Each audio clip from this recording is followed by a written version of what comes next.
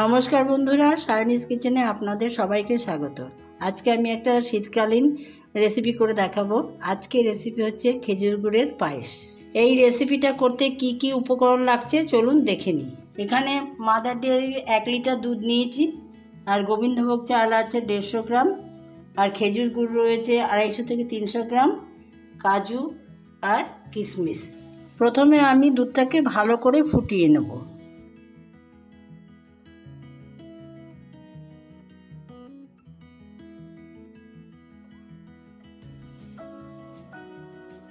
দুধ আমি ভালো করে নেড়ে চেড়ে দশ মিনিট ফুটিয়ে নেব।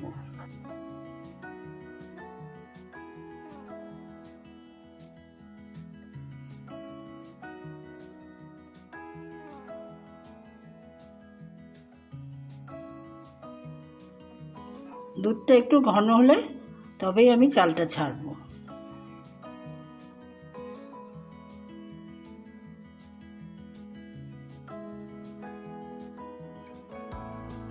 দেখুন, দুধটা অনেকটাই ঘন হয়ে এসছে, কিন্তু আমি আর একটু ঘন করব।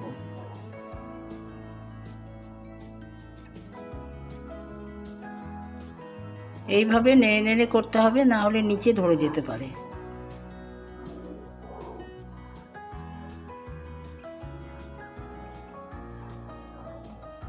যেহেতু খেজুর গুড় দিয়ে আমি পায়েস করব, তার জন্য আমি এই পায়েসে কোনো এলাচ কিংবা তেজপাতা ব্যবহার করব না, কারণ খেজুর গুড়ের নিজস্ব একটা সেন্ট আছে।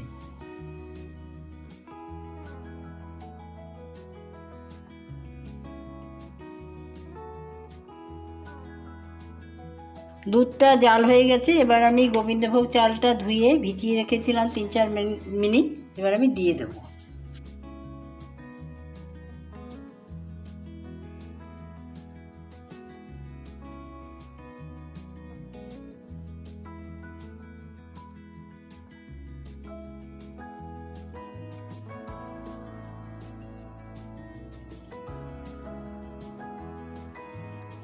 চালটা পুরো সিদ্ধ হয়ে গেলে তবে আমি খেজুর গুড়টা দেব।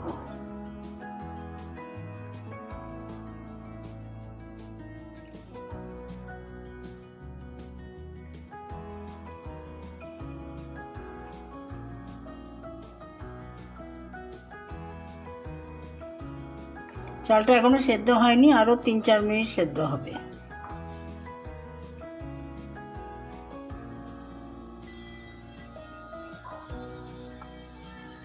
চালটা দেখুন সেদ্ধ হয়ে গেছে। বাদ বাকি যেটুকু আছে সেটুকু আমি গুড় দেওয়ার পরে আর একটু নাড়িয়ে নেব।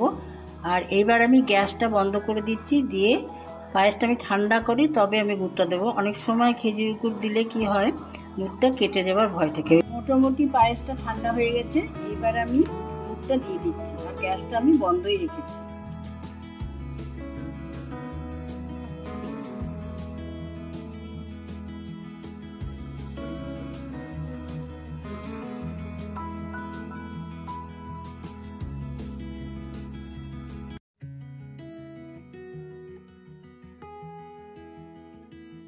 দেখুন, গুড়টা একদম গলে গেছে। আর গ্যাসটা আমি জ্বালিয়ে দিয়েছি, কিন্তু একদম লো ফ্লেমে আমি এটাকে নাড়িয়ে নিচ্ছি।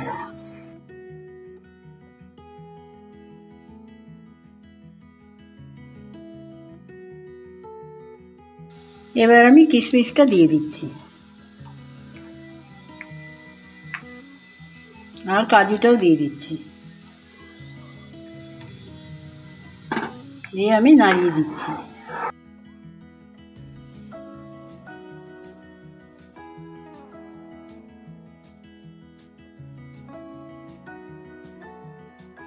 দেখুন, পায়েসটা রেডি হয়ে গেছে, আমি এবার গ্যাসটা বন্ধ করে দিচ্ছি। খেজুর গুড়ের পায়েস রেসিপিটা আমি সার্ভ করে দিয়েছি। যদি আজকের রেসিপিটা আপনাদের ভালো লেগে থাকে, তবে লাইক শেয়ার করবেন আর কমেন্টের মাধ্যমে অবশ্যই জানাবেন আজকের রেসিপিটা আপনাদের কেমন লাগল এবং বাড়িতে করবেন। আর সাবস্ক্রাইব করে আমার পাশে থাকবেন। আজকের ভিডিওটা এখানেই শেষ করলাম। অন্য দিন অন্য কোনো রেসিপি নিয়ে আসব।